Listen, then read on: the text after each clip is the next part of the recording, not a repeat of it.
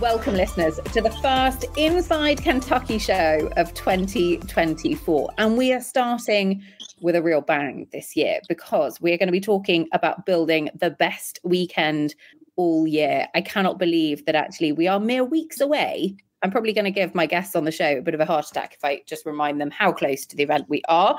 Um, yes. But the first part of this show is all about building Kentucky. And I have got three of the masterminds behind the brilliant Kentucky cross country course. I am going to start with a man who's actually been on the podcast before, Mick Costello. Mick, you have been involved at Kentucky since pretty much the very, very beginning of the four star. Is that right? Well, I was here for the first four star, helping my brother build and, well, helping him finish anyway. He spent a couple years on it, I think and he had um, Mike Etherington Smith's son and, and a friend of his who's now a big builder over there, Richard Taylor, helping him. And then I came in the last couple of weeks and had to stuff brush and stuff, which I believe he doesn't allow me to do anymore. Too sloppy or something. But um, Pete unfortunately died on in the summer of '98, and so I built the three and four star in '99, and um, then the four star ever since. It's amazing. I've just done some quick mental maths. Nearly 50 years or over 50 years, actually, the three of you have been involved at Kentucky. Uh, Tyson Rementer, Tyson, you have been not only a social media superstar over the last few weeks, give us an insight into what brought you into course building. Yeah, yeah, yeah. The the social media influence. That's why I got into it. Is it? it it was my fault. Yeah, yeah, yeah. It was right.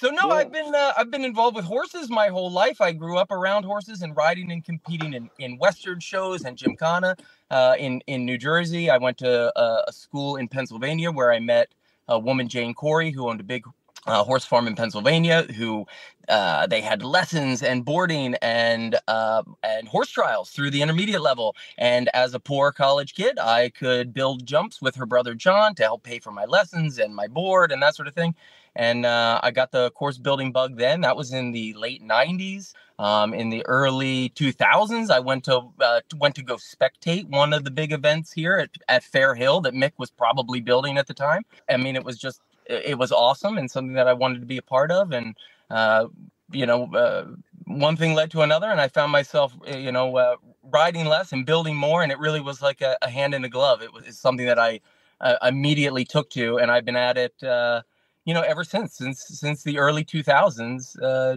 doing nothing but traveling around and building things for horses to jump over, and uh, yeah, really, uh, really, really enjoy it. You make it sound so simple. Traveling around, making stuff for horses to b- jump over. Yeah, yeah, yeah. I the, mean, the, one of the first guys that I met, who was a he was a, a professional course builder, a guy Morgan Roselle. I, I went to help him. His uh, his then girlfriend, now wife at the time, uh, she she was teaching lessons and said, "Hey, my, my boyfriend could really use some help." And I went to meet this guy, and he had a dog and a chainsaw, and uh, yeah, I thought it was just the coolest thing ever. And I thought, wait, this is like a job. This is something that I could do for a living. And uh, so yeah, I was uh, I was I was taken with it right away, and uh, yeah, I, I regret that decision now. It's like, well, now I don't know how to do anything else, so I'm kind of stuck. Um, I, I, have to say, listeners, as we started recording this podcast, there were a number of power tools that sort of got brandished around in front of cameras. Levi, I'll come to you next because you are, uh, well, both you and Tyson are actually, we're recording this Carolina week, and you are out on course hiding from the legend that is Ian Stark. Sorry, Ian, I've stolen your builders for a couple of weeks. Um, how about you? Take us back to the beginning of, of kind of what got you involved. Well, I didn't really have a choice. I, I grew up on a horse farm in uh, Belgium, and my dad was a professional eventer and he decided to uh, start his own three day event in 1980, the year I was born. Uh, he, he went to badminton and met the Willis brothers who built badminton and invited them over to Belgium to build his own cross country course, which he designed. So uh, there I was as a little toddler before I could walk, watch these guys use chainsaws and wood, and I sort of said, "Oh, th- this doesn't look like a bad job to have." So I started following them around, and I moved to England. Uh, spent four, uh, five years in England building a badminton, Gatcombe, uh, several events abroad, uh, the, the, World Games in Jerez, and eventually ended up in the U.S. when I I got invited by a by a builder who used to help Mick at Kentucky, and and I've been here ever since, since 2007. It's amazing. I have to say, so I have a five and a half year old, and I'm pretty certain that if too. he followed any one of you three around, uh, you would not get rid of him because it would be his idea of heaven. Don't worry about the horses, but the tools, the building stuff, all over it. Exactly. Um, can we talk about this, Tyson? You said tongue in cheek, you know, building stuff for horses to jump over, but actually, as builders, there is so much more to that because ultimately you are builders, you build the fences. You're artists because they are always works of art. You're almost physicians because you take into account so much science and force and so many more things than plenty of people listening to this will realize.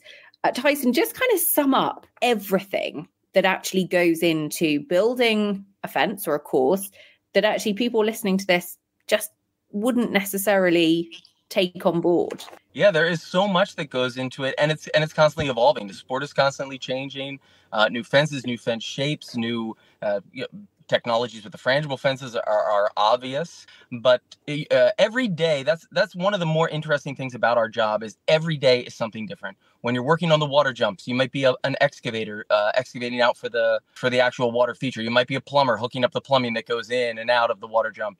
Uh, you know the, the, next day you're a finish carpenter building a you know some intricate portable that looks like a little house or a castle or something like that. And then the the day after that you're chainsaw carving some giant dog or something else you need to you need to know about the turf management that goes into it. You're constantly be asking questions about uh, you know what what turf is to be grown where and how best to care for the turf.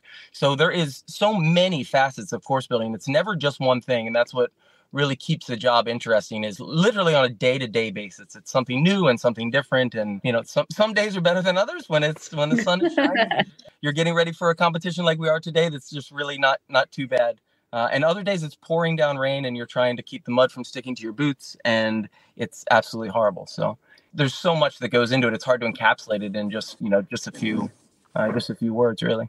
And Mick, from a uh, partnership perspective, we're going to have Derek di Grazia and Jay Hambly on the latter part of this show. So we'll ask them the same question in terms of their relationship right. with you guys.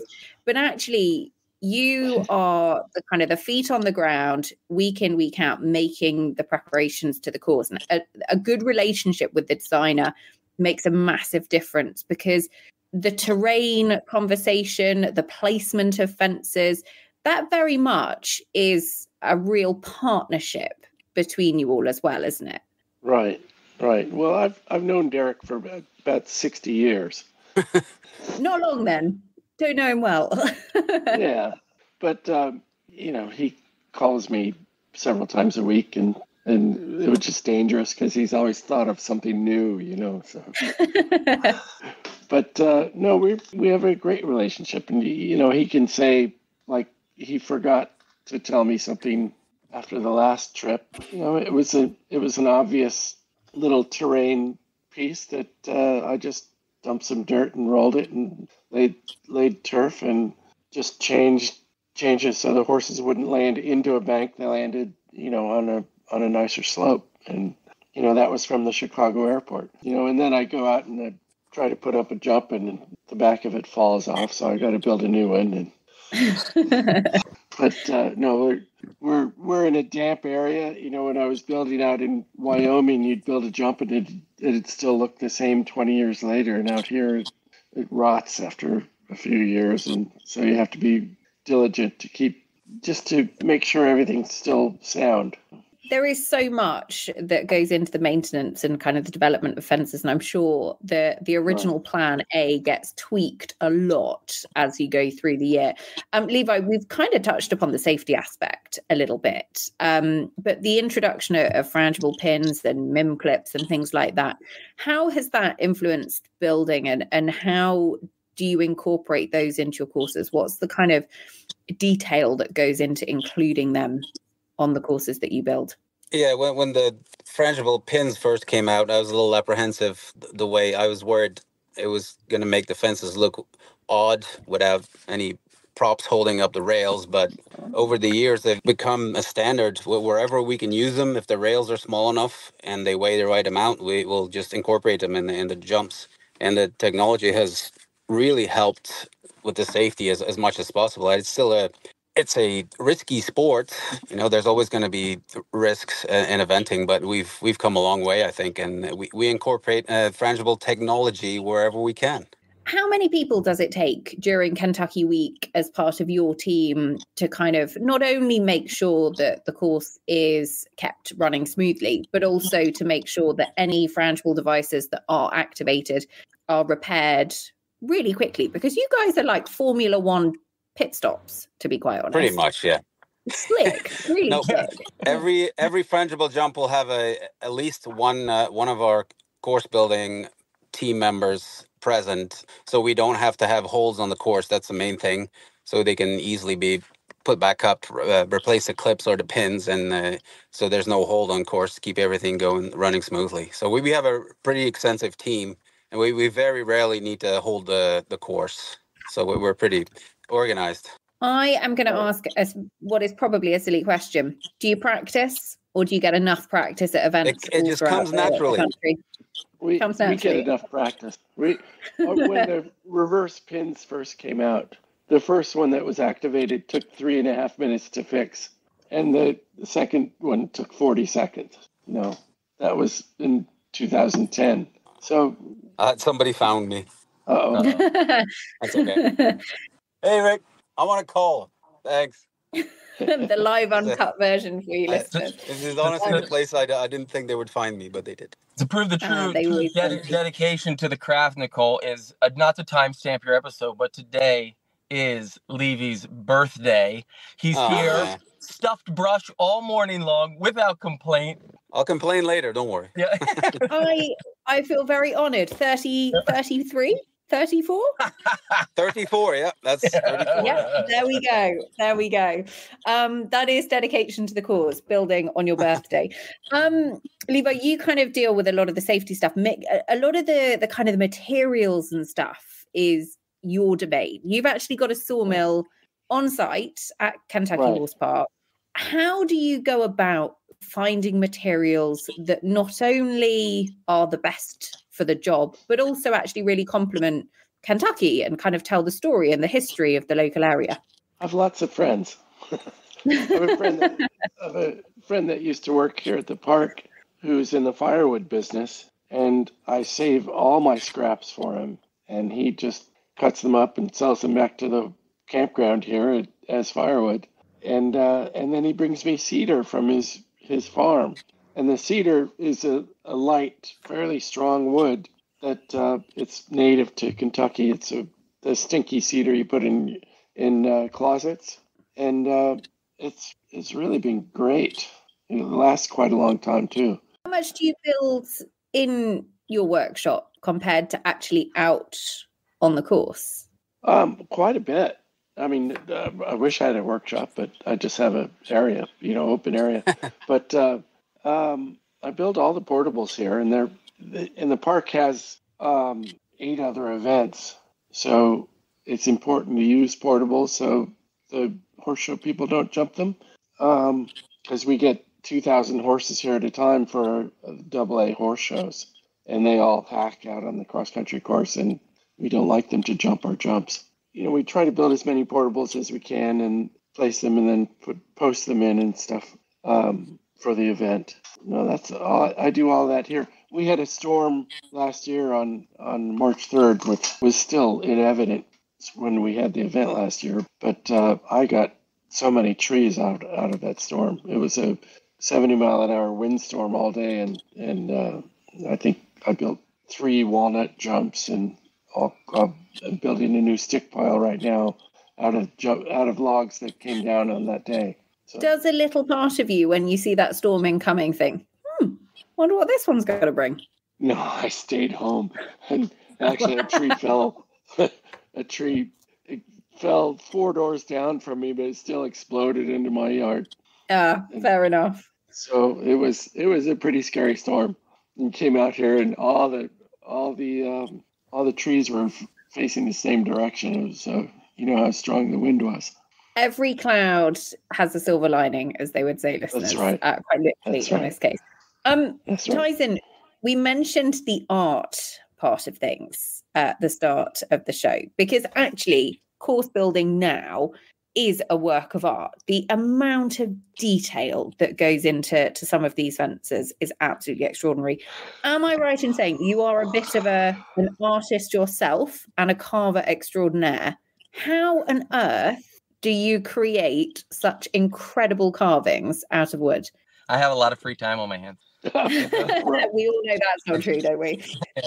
Yeah, it's something that uh, that really just that came about from course building. I'm not an, I'm not an artist by any means. My my my literally my entire family. My brothers are graphic designers. My sister is a freelance artist. Uh, they they are actual artists. And uh, no, I'm a cross country course builder who who dabbles in it from time to time and it really just be, it came from a course designer asking for something to look like a duck and i would say sure yeah why not? I'll, I'll give it a go. And the first first one probably didn't look so much like what i was attempting for it to look like. And uh, but as you progress the things get better and better and and you change uh, you know the, the way that you do things and obviously the material that uh, that you get a hold of you learn what works and what doesn't work and uh, you know what everything has to be a cross country jump first. That's the most important thing. I mean there's there's lots of wood sculptors out there that are that are actual wood sculptors and build some absolutely beautiful wildlife sculpture but that doesn't necessarily make it a great cross country fence. And so coming at things from the perspective first that it has to be a jumpable shape and something that is going to that the horses are going to be able to read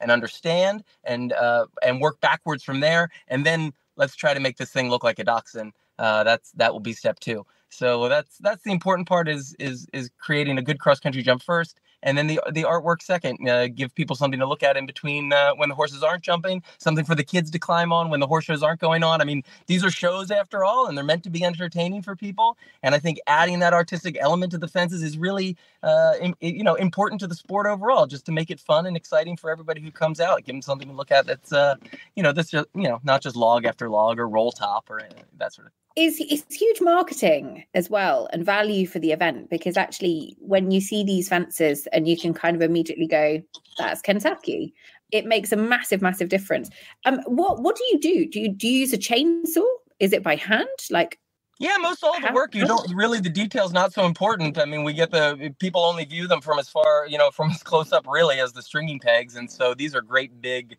uh, sculptures. And yeah, it all starts with the chainsaw. We go all the way down to angle grinders and different die grinders to add some detail to it. But 99.9% of the work is all done with a big chainsaw and big timber. Uh, uh, you know, lots of lots of different fasteners and bits and pieces. Some of them aren't just one big piece, like the Dachshunds and the Corgis that we have at Kentucky are made up of six different pieces of wood. Um, you know, you gotta when when trees get that big, they often have uh, you know lots of damage to the inside. You know, they start to decay from the inside out, and so sometimes we have to patch up the big holes that are in the timber and that sort of thing. But uh, it really is a lot of fun. It's it's time consuming and it is tiring holding a chainsaw all day next to your face. But uh, but it, it really is a good time and and people seem to really enjoy it. So I love doing it. Have you had a favorite that you've made? Yeah, I gotta say the the last year coming up with the the Cosequin Cove with the theming that with the with the brand of Cosequin that hey these are joint supplements for dogs. Could we could we have a thematic fence? We started with that idea and then it turned into well yeah we could we could make a dog that was that, that would suffice for what Derek needs in this particular area and brand it with the mm-hmm. uh, with the Cosequin branding. Well, I thought was that was a really that was a whole fun complex. We had the corgi, we had a dachshund, we had a great big log that we carved Cosequin into the back of. Uh, that was a lot of fun last year. And uh, Le Chameau as well, who I think are back again this year. We had camels, which was an unusual request. That's the other thing. You get some pretty like off the wall requests, like, "Hey Tyson, you mind whipping up a camel for these?" like, okay, yeah, I'll try that. And uh, it turned out great. We did these big boots. Uh, unlike Levi, who speaks 18 different languages, I only speak one. I didn't know Le Chameau meant camel, so uh, that was that was that was new for me to find out too. Yeah, yeah. See, exactly. So then we made these big camels, and we made, made made the big boots. It was great. I did not know that. There you go, listeners. You learn something new every day. Le Chameau means camel. I just thought they made great wellies, to be honest. But hey, there you go. Um, Levi, from from the kind of the time scale perspective, what does it look like? You know, from last year's event to the build up to 2024, what kind of happens when and, and when do you start putting Derek's plans in place and, and where are you at now? Well, I've, I've been coming to Kentucky now since 2010, and the first, uh, I want to say, six or eight years, we would just come over for three weeks and just brush the jumps and put uh, some of the frangible uh, devices together. But I want to say for the last four or five years now, we've been coming over for several trips. So our first trip would be in November, and we'd uh, plant all the posts where the permanent jumps and brush jumps go in place and uh, the post for the frangible jumps. And then we'd come back in February and install the frangible hardware.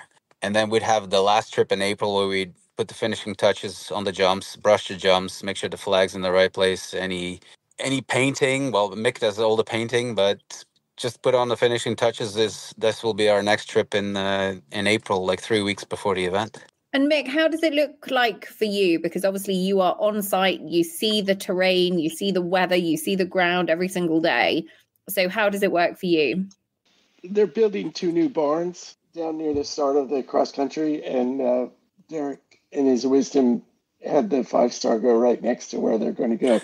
In his defense, well before they, anything happened, but um, so the last couple of days, I've just put in a new culvert, so we wouldn't have to go quite right next to them.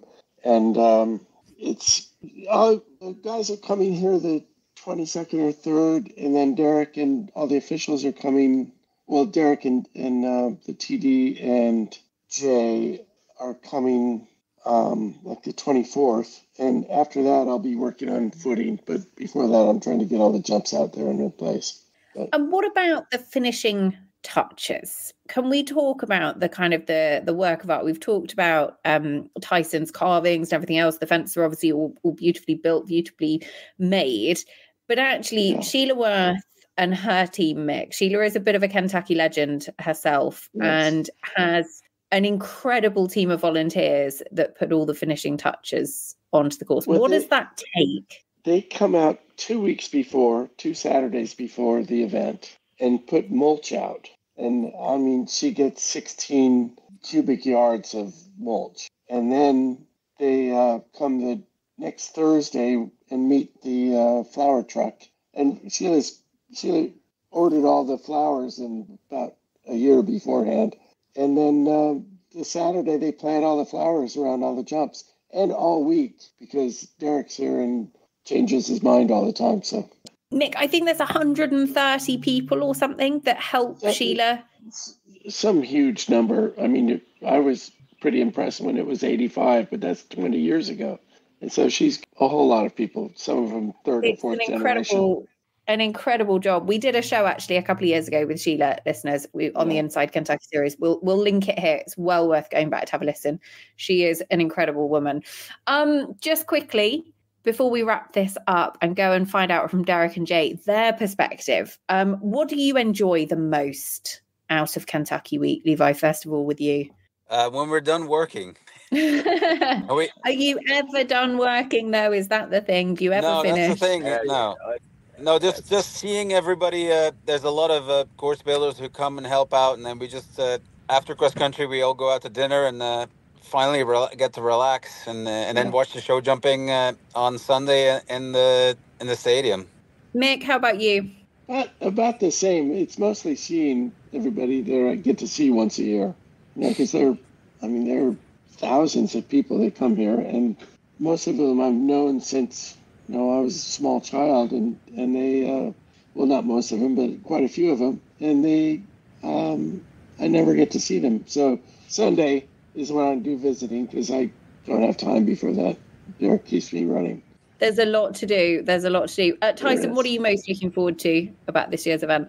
It's an Olympic year. I can't wait to see all the guys that are vying for the uh, for the Olympics competing. That's gonna be uh, that's gonna be fantastic. I can't wait. Uh, it, it's it always adds a bit more drama these Olympic years with the big big five star events. Uh, I think that that's the, uh, the, the these these Olympic years are always always the best. They are. I feel like we've all got Paris fever, and it is going to be a very important one in terms of US team selection as well.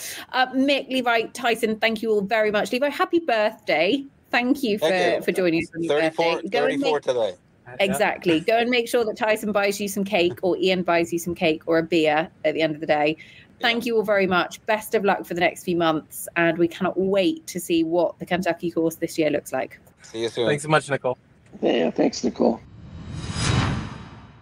So, listeners, we have heard from the guys who bring it all together in terms of the physical fences that we see at Kentucky. But now we're going to find out where those fences come from and a little bit more about how they are created. Um, course designer at Kentucky, going back to 2011, Derek di Grazia, it is lovely to have you back on the show. Well, thank you, Nicole. It's great to be back. Uh, I think we did this before. It's at one point, so it's great to great to be back again. I did have to laugh, listeners, and say, I'm sorry, Derek. Every time I see you, I'm cornering you for an interview or something. I'm really sorry. This year, a new addition to the Kentucky team, a man who knows Kentucky well. He designed the AECs last year. Uh, Jay Hambly, you are the assistant course designer for Kentucky this year. A new challenge for you. Just give us an insight into actually your your course design journey to this point. Well, for me, it's been quite good. I think I've been lucky to work with some really good designers, namely Derek. Um, and I feel like he's sort of mentored me along my journey. And it's a natural, it seems like a very natural thing to, to go and have the privilege of assisting at, at Defender.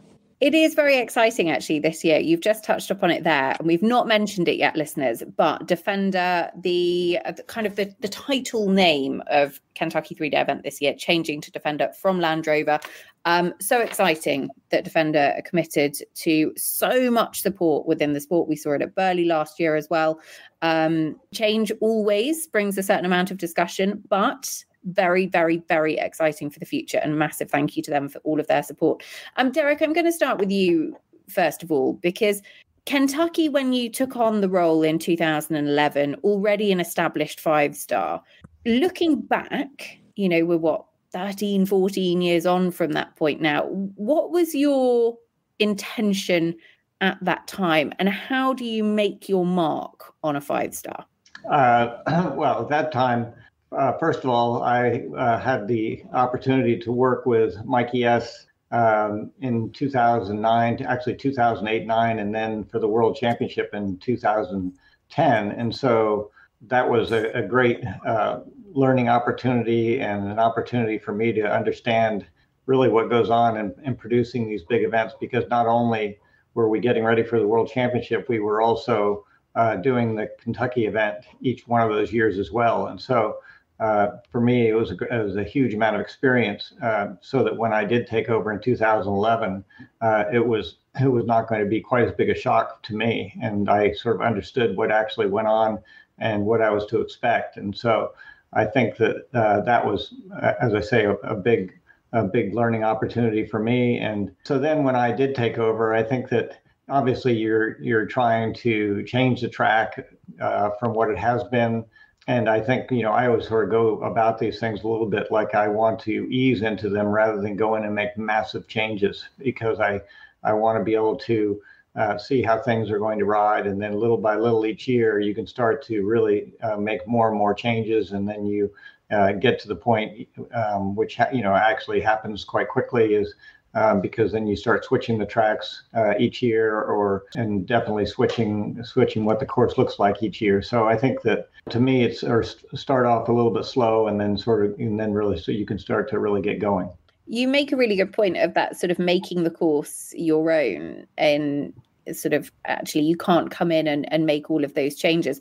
What is it about the Kentucky Horse Park um, that makes it so special in your mind and what are the the biggest things that you keep in mind when you're designing your track well kentucky first of all they have a lot of uh, what what I call feature fences, which I think a lot of five stars have. It also Kentucky has really great terrain. I think it's uh, underestimated terrain there because you're either you're always either going up or going down, and and because it's not uh, it's not steep going one way or the other that I think a lot of people don't realize what they're actually doing and the change the the grade changes uh, on course. And so I think that that's that's a, one thing which I think is is quite good about that property. The other, the other thing is that the property is very versatile, and so you can make changes to the track quite easily, and also change the loops within the track. So uh, it allows you a lot of flexibility when you're designing from year to year.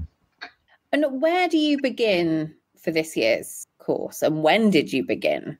Well, I begin uh, every year. I begin uh, somewhere between the June and July, and sometimes I've actually gone in May. But um, I, I try to get the track sorted at that point, and so we all understand where the track's going, which helps both Vanessa and her team uh, be able to uh, do start to do their work as far as uh, everything that encompasses sort of and, and goes around where the track is. And then also it helps Mick Costello uh, understand the groundwork that has to be done.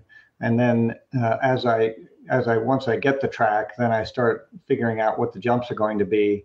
And usually uh, by my meeting, sort of by the time I get there in late summer or early fall again, I have a pretty good idea about what those what those jumps are going to be, and and uh, actually if there are any any um, dirt works that have to be done, I sort of understand that a bit earlier, but but it's really about trying to get the the course to start to take shape a bit more uh, in the fall, and then by the time we get to November, we actually start to put things up in the air and see what they're going to look like. Um, and then by the time we get to February, uh, we're we're a bit more a bit further along, and things are actually going out and uh, jumps are starting to be what they're going to be. And, and then as I come back in March, at the end of March, it sort of we do our final set, and then we're we're away and and uh, doing all the decorations and that sort of thing is obviously a last week's uh, last two weeks sort of situation.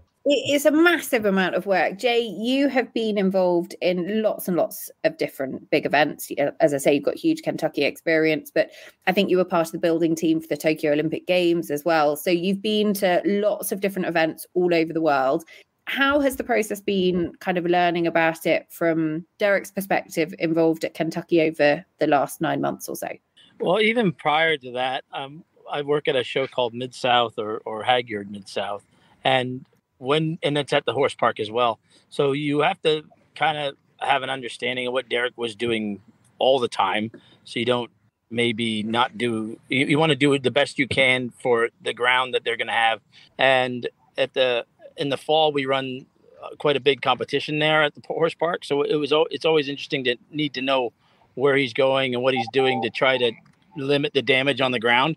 Um, and, and, just from understanding that, and like you said, I've worked at two Olympics, um, and seeing how those go together, it's I mean very very natural. Like I said, to go and work with Derek at at, at Defender this year, um, and see his tracks. You know, sworn to secrecy, but it's it's it's all very good. And uh, and then you know think about the galloping lanes and the lines to the fences and what the and think more about like what the crowds will do and how that may affect where you're putting your galloping lane stakes and like simple things like that that you might not think about at normal competitions uh, um, tents and you know the marquees and all those things as well. I think come into obviously more play. You say it's a big secret. Um, Derek is always a vault listeners. The amount of times I've tried to extract some kind of gold nugget of something that we could expect from Derek, and he keeps his cards very close to his chest. We'll try again later on in the show. Um, how much of kind of incorporating the crowds and the enormity of Defender Kentucky do you have to consider, Derek, when when you're designing your track? Well, I think that um, we we understand obviously that there are going to be crowds, and we we understand the sponsors and what their what their needs are, which is understandable. And so it's all when you're designing, you have to you do need to be thinking about these aspects uh, because they, you know, there's there's uh, even though it's a big park, when you actually get down to the areas around the jumps, you actually have to think about how, the room and and you know I still design what what I want to design and uh, use the space, but at the same time we always have to be thinking about uh, what the other needs are uh, and that, that are going to need to be done uh, when it actually comes down to those last few weeks and, and everything starts going up and you have to just understand the spaces that you have. So that's that's sort of one part of it. And i think as far as the spectators um, it is a matter of you know you know especially the really some of the feature jumps where you have huge amounts of, of spectators. And so you basically have you do have to uh, make sure that you uh, that there are and there's room there and that not only room but also room uh, if you do need to get a horse away from a jump uh, as far as if you have an injury and you need to get a trailer uh, in to be able to take that horse away it's just making sure that you have the ability to do all these things. So it's uh, there's there's actually you know looking at it from all different sides if we go take it back to more of a, an overall philosophy around designing. I always think course designers have such great responsibility because everybody's eyes are on you on cross country day. Um, Derek, you are notoriously relaxed. Um, you are very, very kind of understated about nerves on cross country day. I know some designers get really, really nervous, but actually you're quite okay about it all. What what is your philosophy behind course design? And actually, what are you looking for when you build particularly a track, yes, we're talking about Defender Kentucky here, but a track at any level. What is it that you're looking for? Well, I think one, you have to try to design to the level that's being asked for that competition. Uh, two, you try to be able to create a course that's going to keep a rider thinking and a course that, especially at many levels, that is going to be educational for those horses and riders. Uh, also then you get to especially at the bigger competitions a course that can be enjoyed by the public. And so uh, and i think that that's very important especially if you have year to year you that's why i think to me it's very important that you change things up a bit because i think you don't want the public to come there and sort of see the same thing year after year so i think that's a big part of it and i think for the riders at the same time i, I think changing the courses year after year it keeps them engaged more because they're they're having to sort of figure out how things are going to work and how it's all going to relate and fit together uh, on the course. Um, but the big thing to me is making something that is fair to the horses, uh, fair to the riders, and hopefully you're putting something out there that will that will ride well. I mean, and and you know we don't we always you never know until the day uh, if that's all going to happen. But at the same time, I think that um, I mean, I think that's what the intent is, and it's not trying to catch people out. It's really trying to put a fair test out there for the horses and riders. Jay, how about that from your perspective and and your philosophy on course design as well? Well, I mean, obviously, I've not designed a five star, so designing the lower levels, uh, four and down, I, I look at it very much as your not only are you teaching at the lower levels for them to move on and do things they may or may not know that they need to do, I think they also qualify at those levels. So you have to be very aware that, regardless of the time of year or where you are, that they receive a qualification from the track you're on, and you don't want to maybe not tell them the truth about what level they're going. You want to be very, you know, to the level, so that when they get their qualifying score, they can go on and and compete at, at another competition somewhere else, whether they move up or in the same level and, and can be successful. And so I try to look at venues sometimes and, and, and, and there are some trends, things come and go. And Derek's brought some things back like drops and sunken roads that maybe weren't on four stars or five stars for a little while. And then you end up with some problems there, not problems in any other way, you know, the odd quit or whatever, but part of the reason for that, I think, is some of the competitions that they qualify at maybe aren't asking those types of things. So then we have to look back and say, okay, we do need to do those skills and have those skills and find a way to do it. Having said that, you can't put everything on a course.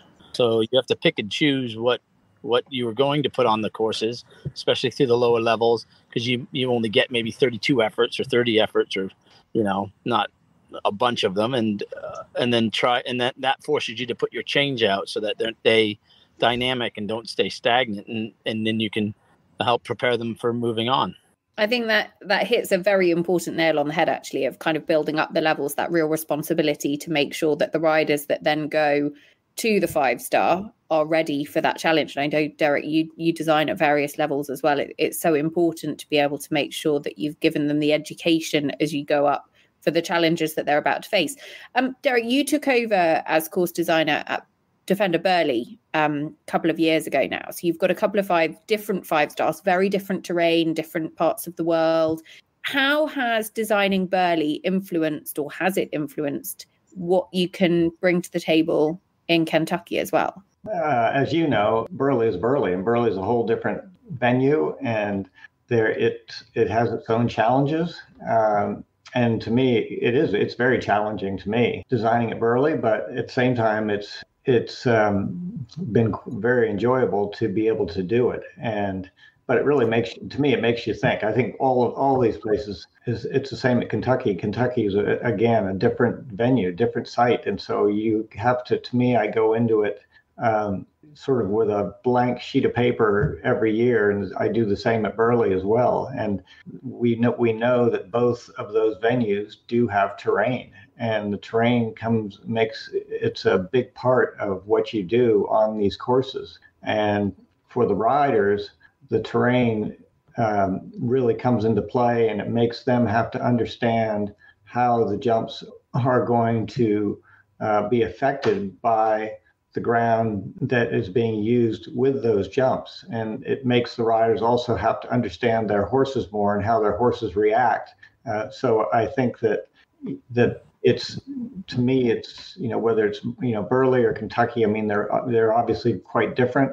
Um, I think in, in Kentucky, I obviously I have probably more flexibility about where I can go with the course. Uh, at Burghley, uh, not so much so, and so you have to be able to sort of use every piece of ground in different ways uh, and use the track and you know be able to move one way or the other uh, within the track to be able to create different different things that hopefully you know the riders haven't seen uh, before too much anyway.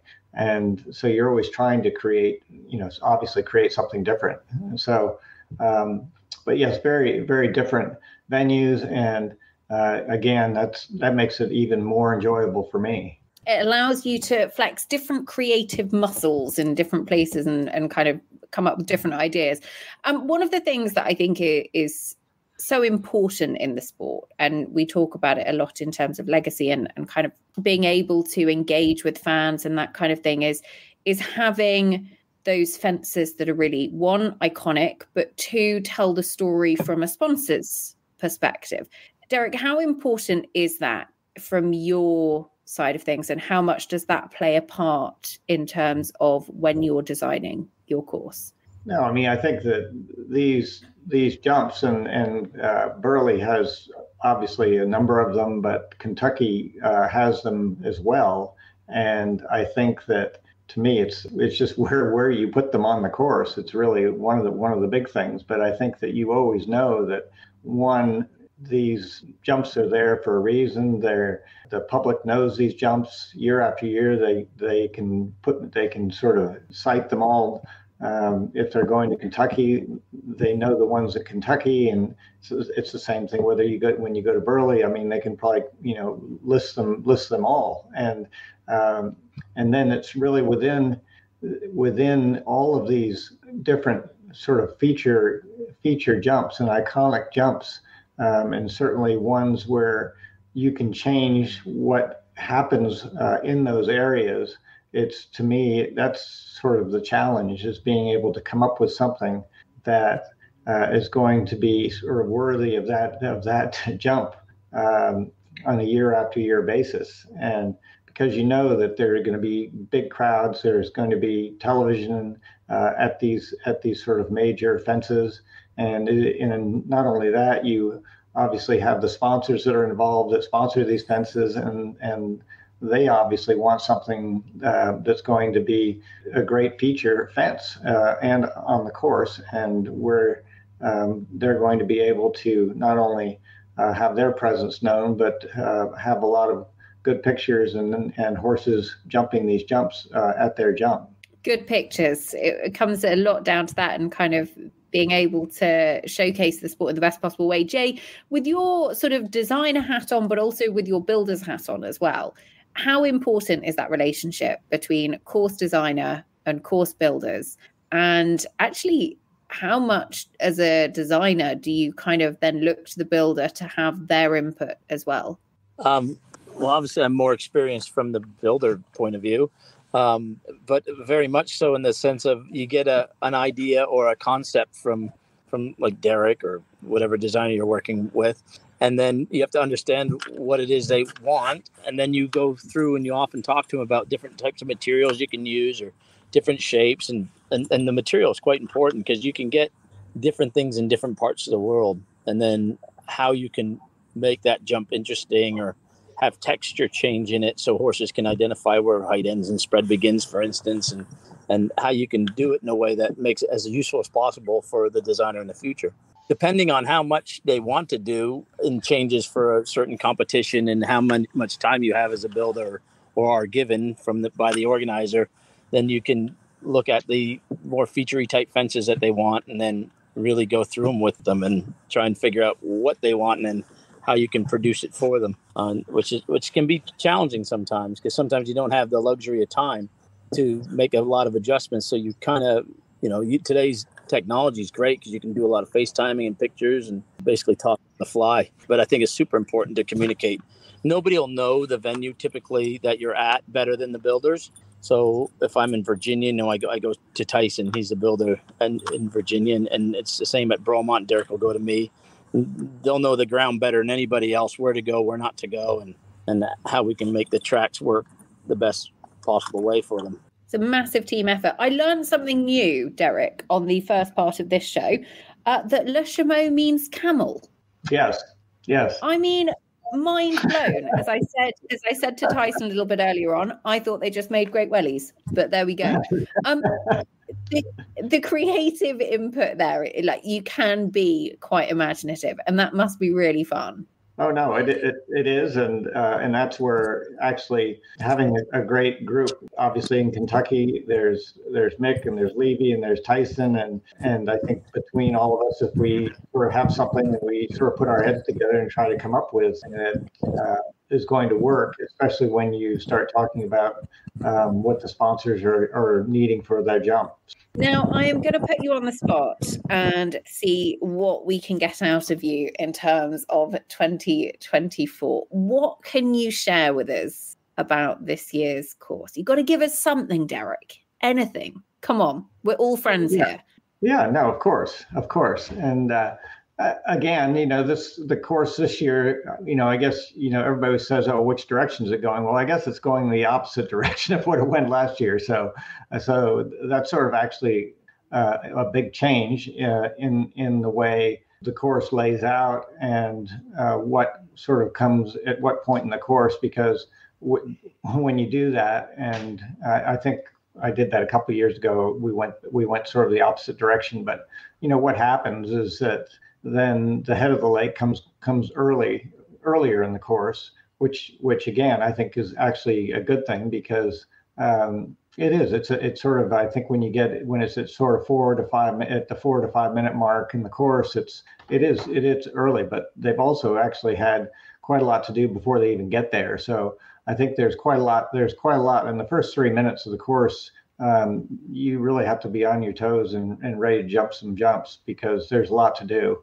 What I say then is that if that's the way it is going that way, then what happens is that the park question, the coffin complex comes quite late in the course, and which comes sort of at nine minutes, which it did, I think, a couple, two or three years ago, and uh, which again, it actually jumped quite well at that point, uh, but it also uh, when the horses are starting to get a little bit on the tired side, you have to you have to be able to ride a combination like that at that point in the course. And so I think that it, that it does change things uh, around a bit uh, as to where it sits in the course. And so uh, those are some of sort of the sort of the big things that that do happen. And um, you know the other the other sort of feature fences then all sort of come into into play, but they're I, to me, those are sort of the big the big things is, ha- is having the head of the lake come earlier and then having the coffin come later. So, uh, which I think when you do when you run that w- way around, it sort of makes that makes a difference. Have you got a rough optimum time yet?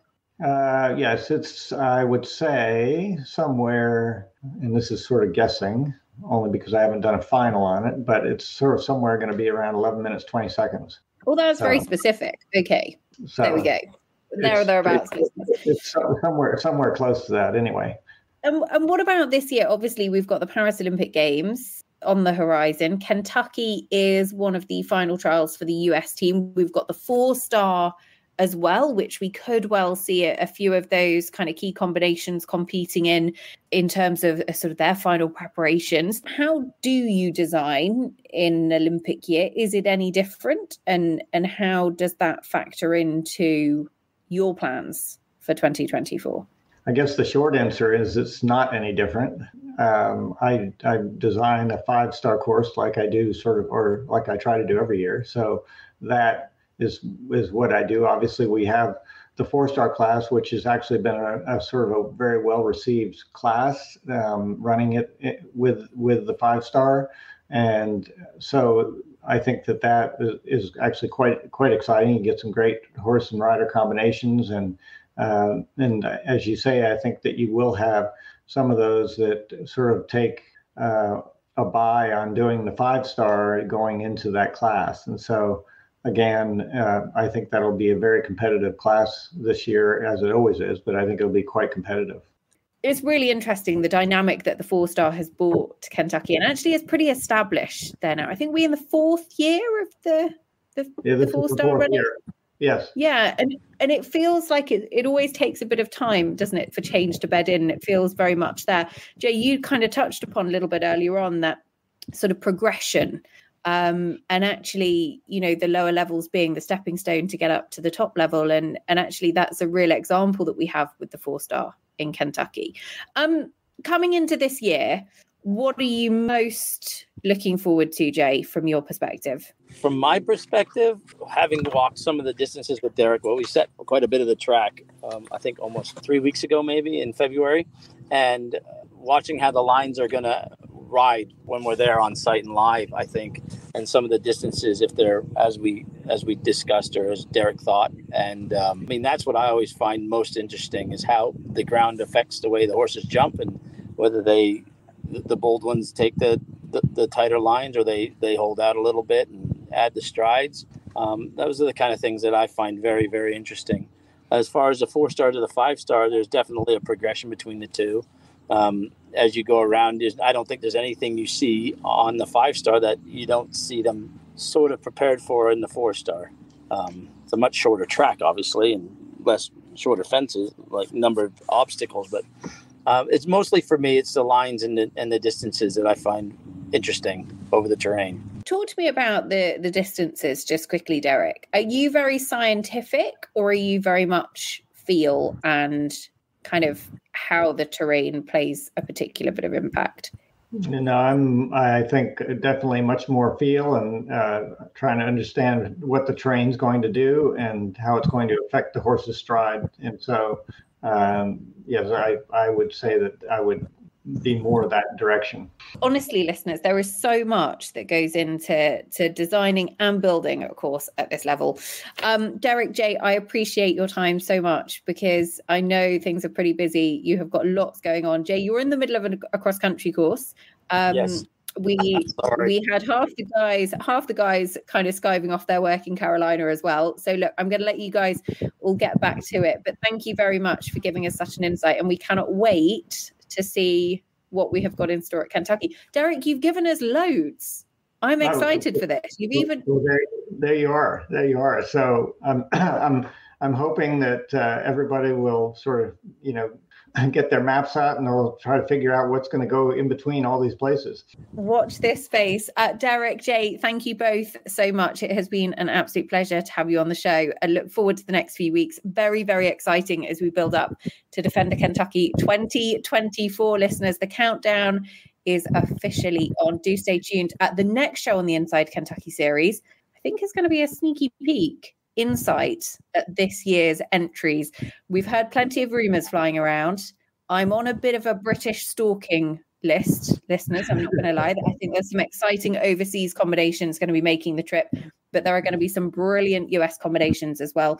So watch this space. But for now, a massive thank you to all of our guests and, of course, to you guys for tuning in.